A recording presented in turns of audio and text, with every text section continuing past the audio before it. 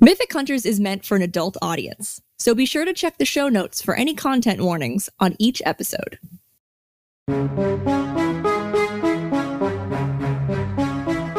Hello, fellow truth cadets. You ever gaze up at the sky and wonder what else is out there? What myth lurks in the dark? Can the unknown be known? Or does it? Then join us on this journey we call the hunt for the destination we call the truth. Welcome to Mythic Hunters. You know, a week ago, the station owner called and told me I did a great job. And they were thrilled to see me back on my feet, which means even the station does not listen to this show. So here we are, back again. Cheers to that. Oh, yeah. I'm Burke Ashley, weatherman turned wizard enabler, or whoever this is for. Let's check in with our field reporter, Sierra. Are you there? Sierra here, coming to you live from the woods in Michigan, where there have been sightings of a mysterious beast attacking campers. You always sound that chipper, huh? Well, you know, it takes more muscles to frown than to smile. That is not scientifically true. Well, no pain, no gain. Also doesn't make sense. I have in the studio today the victim of a dog attack, as well as an expert on folklore surrounding canines. werewolves. We're doing a werewolves episode. They gave me a script for this, but come on, you know what a werewolf is. Were meaning man, wolf meaning wolf, man wolf, wolf man, men who become wolves in the full moon. Look, I get it. You're a 15th century farmer and you drink until you black out, do some weird stuff, and then you blame a dog bite. Oh, the beast took me over. It was the moon. I've never seen that horse before, officer. We can't keep hiding behind these lies. I think we can all admit men don't really need an excuse to behave like animals. Oh, dope. We can drink in here? Yep, it's smoking that's not allowed. Damn, now I want to smoke. Oh, this is our first victim, Will. Tell us about how you got attacked in the woods. It was sick. Okay, so I was in this cabin with a group of friends. I know, horror movie shit happens when you go into the woods, but it turned out to be really cool and everyone was having a good time. This guy, Brent, who none of us knew that well, but he put up the money for the cabin, he disappeared. We all split up to look for him. I know, horror movie shit. And while I was in the woods alone, I turned around and there was a giant fucking wolf looking right at me, bro. Like into my soul. Like there was the wolf standing on two legs and there was me on my legs. And in that moment, it was like I was the wolf too. And the wolf, he was me. And then I started chasing me.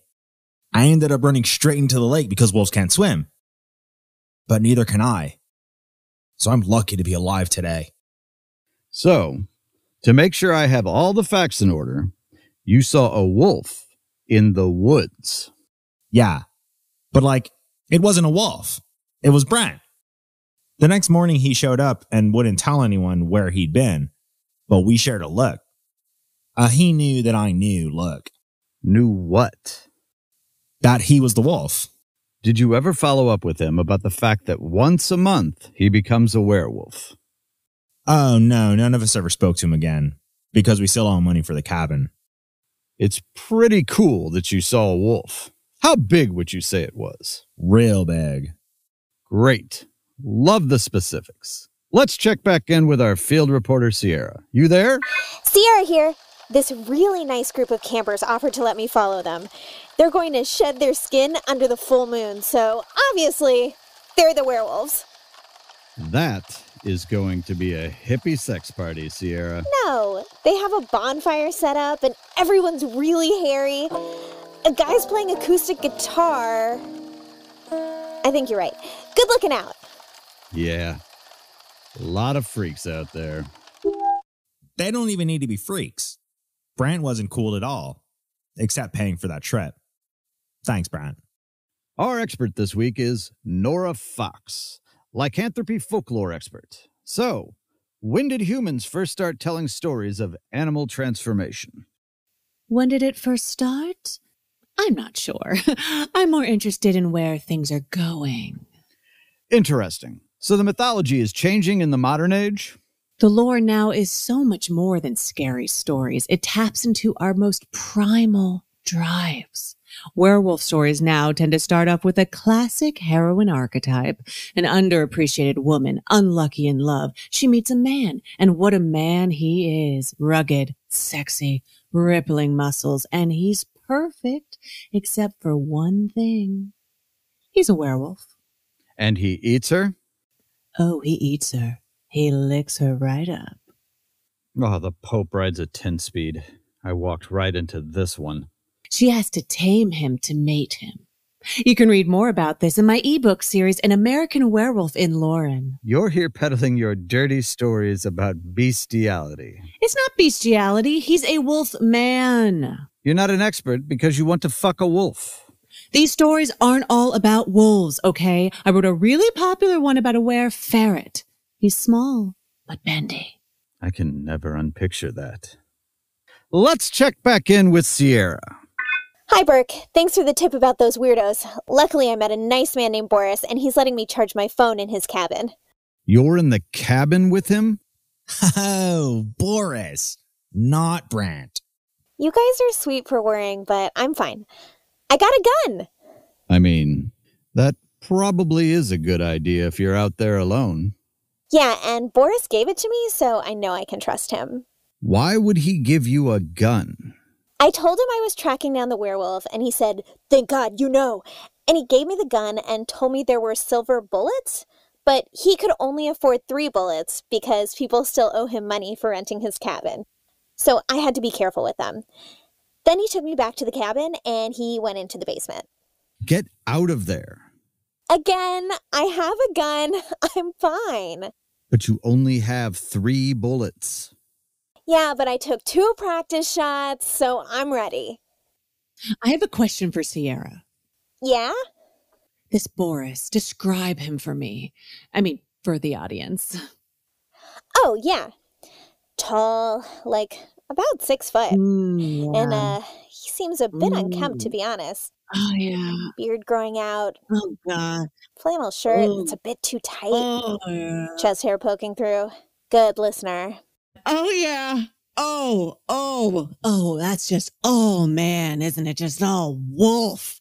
Sierra, you're going to think you can change him, but you can't. Only the moon can change him. Wow, that was beautiful. You know, you guys have me worried. I'm going into the basement.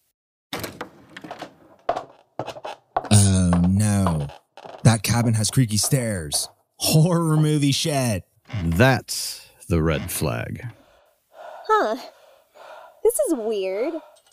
Boris locked himself into a cage and he took his shirt off. Okay, this is promising. Does he does he have an Apollo belt? You know, one of those hip V's super fit guys have, you know, cum gutters. He's breathing hard and watching me. Guys, I think Boris might be a. Pervert. What? Oh, I think it's fine if a man wants a woman to lock him in a cage. We've all been there. But him tricking you into it is out of line. Just leave. Look into his eyes. Try to make him see that the two of you, you're not so different after all. I'm looking into his eyes. That's what perverts want. That's what we all want. His yellow eyes look so yellow in the moonlight. And so bright. Oh, Boris. You can't help what you are. he lunged at me! Oh no. Oh no, he looks angry. Get out of there. Something's happening. He's getting bigger and his pants are getting really tight. Can you see his wolf cock? Okay, let's go to the ad. If you're like me, you're a modern man on the go with a normal amount of hair. You've got an averagely busy life and never mysteriously disappear for days on end. You need the normal man shave pack, which is a type of kit, not a pack of wolves. We will send you a box of razors and accessories right to your home every month. coincidentally, during the full moon. Our three blade razors are perfect. Not too many, not too few. All moderately sharp, normal. Our shaving cream, room temperature. Our mustache comb, regular size. Our beard oil, unremarkable. No surprises here. Order your first shave pack, which again does not refer to a pack of wolves, Stay there. You stay. and feel human again. Sierra, you okay? He was a man, I know. but he was a wolf when I shot him. And I believe that you believe that, which I think will be necessary to your defense. I think he was still alive when he limped off. That's the spirit. Yes. As far as you know, you didn't even hit him. It's not even your gun. Just uh just get out of there, okay? And seriously, be careful walking home. The full moon makes people super weird. Yeah, like they turn into werewolves. No. Will, no. I'm serious. You want to go outside? Outside. Yeesh. That was so much more upsetting than I thought it was going to be. Uh, yeah, kind of kills the wolf fantasy. So from now on, I guess instead of picturing a sexy wolfman in bed, I'll just pretend my husband is his brother or something. You're married? Oh, yeah, but I don't like to wear my ring out in case I meet someone. I'm someone. And all human. Hmm, that's kind of a turnoff, to be honest. You into furry? Fucking in parks? You're all a bunch of animals. And I'm off the clock in five, four, three times up. The show's over. Join us next week where we uncover more depravity. For us believers and non believers, life is a big mythic hunt.